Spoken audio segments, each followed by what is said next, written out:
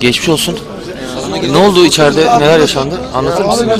Gene katil polis orada yeni almış durumda. Ee, Kriz kartı var yine olduğumuz halde. Akrabaları En çıkınca son eee içeride bir komiserin, yani komiserin artık çıkıp e, herkesin çıkmasını söyleyince polisler çıkmayacağız falan. Bileydin böyle bir eğlence var ben nasıl kaçırdım?